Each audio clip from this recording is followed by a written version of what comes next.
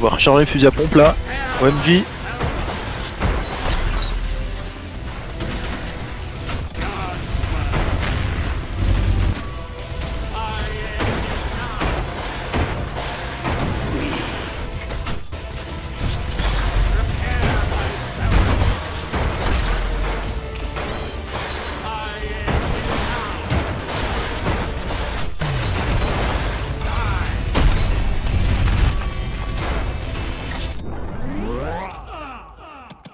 Oh,